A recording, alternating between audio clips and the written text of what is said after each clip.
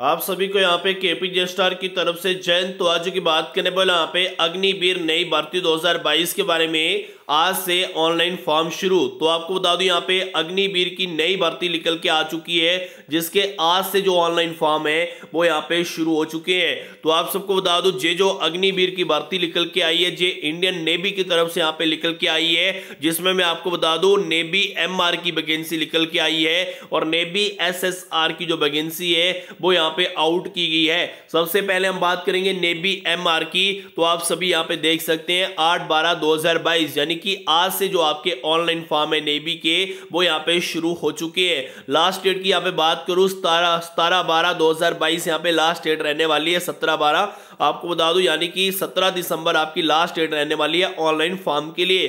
General OBC EWS के लिए पाँच सौ आपकी एप्लीकेशन फ़ी रहेगी। एससी और एसटी के लिए पाँच सौ यहाँ पे फ़ी आपकी रहने वाली है। तो आगे की तरफ़ आपको लेके चलो। नेवी एम आर में आपकी जो वैकेंसी है, वो सिर्फ़ यहाँ पे सौ वैकेंसी रहने वाली है, जिसमें मेल की, यानी कि लड़कों की अस्सी वैकेंसी है, लड़कियों की यहाँ पे बीस वैकेंसी है।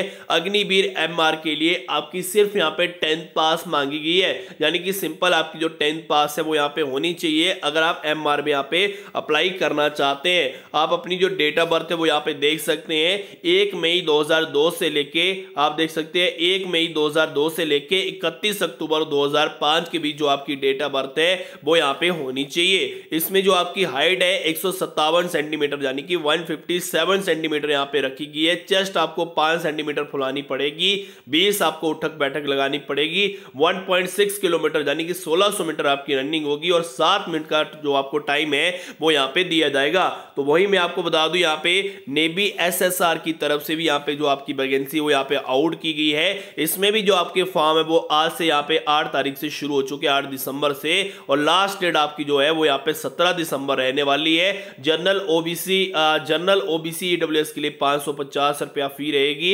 एससी और एसटी वालों के लिए भी पाँच रुपया फ़ी रहने वाली है। इसमें भी आपकी जो एज लिमिट है नेवी एसएसआर में एक मई 2002 से लेके 31 अक्टूबर 2005 के बीच जो आपकी डेट ऑफ़ बर्थ है, वो यहाँ पे होनी चाहिए। इसमें आप देख सकते हैं, इसमें आपकी 1400 वैकेंसी निकाली गई है, जिसमें एसएसआर मेल यानी कि एसएसआर लड़कों के लिए जो वैकेंसी एसएसआर में, वो ग्यारह है। लड़कियों के लिए जो वैकेंसी एसएसआर में, वो दो सौ अस्सी है। इसमें आपकी टेन प्लस टू होनी चाहिए, यानी कि आपकी ट्वेल्थ पास होनी चाहिए। इसमें आपका मैथ, फिजिक्स, आपके जो सब्जेक्ट है वो यहाँ पे होना ज़रूरी है। तो इसके अलावा इसमें जो आपकी हाइट है, देख सकते हैं लड़कों की 157 सेंटीमीटर मांगी गई है और लड़कियों की जो हाइट है वो 152 सेंटीमीटर यहाँ पे मांगी गई है और रनिंग जो है यहाँ पे लड़कों की, वो यहाँ पे 1.6 किलोमीटर यानी कि 1600 मीटर लड़कों की रनिंग होगी। लड़कों को यहाँ पे छह मिनट और तीस सेकंड का जो टाइम है वो यहाँ पे दिया जाएगा। लड़कियों की भी यहाँ पे वन किलोमीटर यानी कि सोलह मीटर होगी और लड़कियों को यहाँ पे आठ मिनट का जो टाइम है वो यहाँ पे दिया जाएगा।